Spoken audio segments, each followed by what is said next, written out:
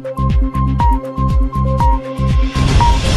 राज्यातील मंदिरे खुली करण्यात यावीत या मागणीसाठी भारतीय जनता पक्षाच्या आध्यात्मिक आघाडीच्या वतीने बुलढाणा जिल्ह्यातील शेगाव येथील श्री संत गजानन महाराज यांच्या मंदिराबाहेर शंखनाद आंदोलन करण्यात आले. शंखनादासोबतच कार्यकर्त्यांनी घोषणाही दिल्या.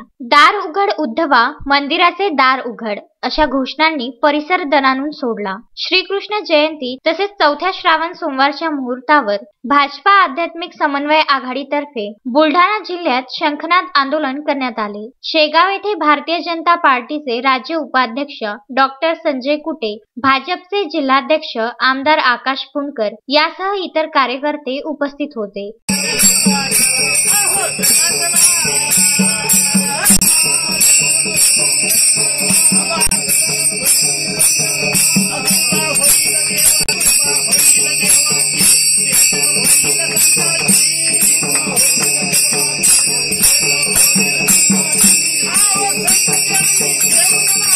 शंखनाद करतानाच कार्यकर्त्यांनी राज्य सरकार आणि मुख्यमंत्री उद्धव ठाकरे यांच्या विरुद्धही संताप व्यक्त केला. दार उघड उद्धवा दार उघड सर्व मंदिरे खुली झालीच पाहिजेत अशा घोषणा यावेळी देण्यात आल्या. तर पाच महिन्यापासून राज्यातील सर्व धार्मिक स्थळे बंद आहेत. आता सर्वत्र व्यवहार सुरळीत असतानाही अद्यापही मंदिरे बंदच आहे मंदिरावर अवलंबून असणाऱ्या लाखो नागरिकांच्या उपजीविकेवर गदा आल्याने त्यांची उपासमार होत असून त्यांना राज्य सरकार कोणतीही आर्थिक मदत देत नाही. त्यामुळे तात्काळ मंदिरे सुरू करण्यात यावी अशी मागणी आमदार डॉक्टर संजय कुटे यांनी माध्यमांशी बोलताना केली आहे.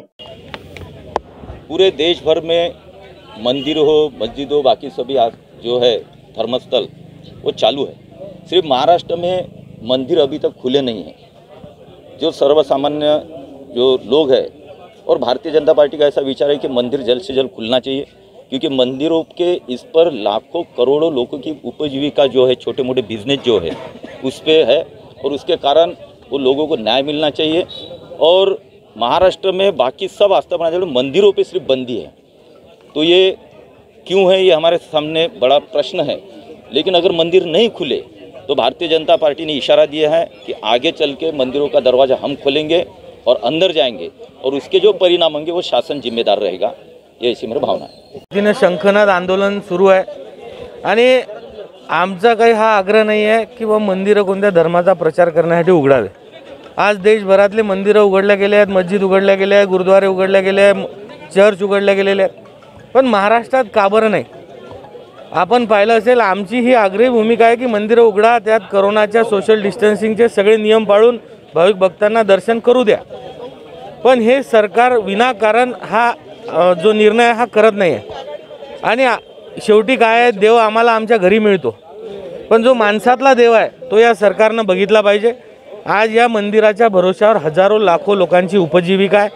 म्हणजे गरीब फुलवाला असेल चहावाला असेल गंडे धागे विकणारा असेल प्रसाद विकणारे हॉटेल्स असतील फोटो फ्रेम विकणारे लोक असतील हार फुलाचे व्यापारी असतील असे अनेक लोक आहेत अनेक. पार्किंगवाला कर्मचारी असेल तर अनेक आहेत लाखो लोक आहेत ज्यांची उपजीविका आज मंदिरावर आहे. आणि जेव्हा सरकार दारूचे दुकानं उघडते तेव्हा कारण देते की याच्यातनं महसूल मिळते. मग या गरीब लोकांच्या महसुलाचं काय? गरीब लोकांच्या गरिबीच्या बजेटचं काय? आणि या गरीब लोकांचं बजेट हे ताळ्यावर आलं पाहिजे लाईनवर आलं पाहिजे त्यांनाही त्यांचं जीवन सुकर झालं पाहिजे त्यांच्या मुलांचे शिक्षण झाले पाहिजे त्यांना दु सुखानं दोन वेळेसचं जेवण मिळालं पाहिजे. या दृष्टीनं त्या लोकांचं जीवन सुकर करण्यासाठी सरकारनं मंदिरं लवकरात लवकर उघडाव. हा आमचा इशारा आहे नाही तर आम्ही स्वतः आता हे मंदिरं उघडून हे भाविक भक्तांसाठी खुले करू. महेंद्र मिश्रा विदर्भ न्यूज शेगाव.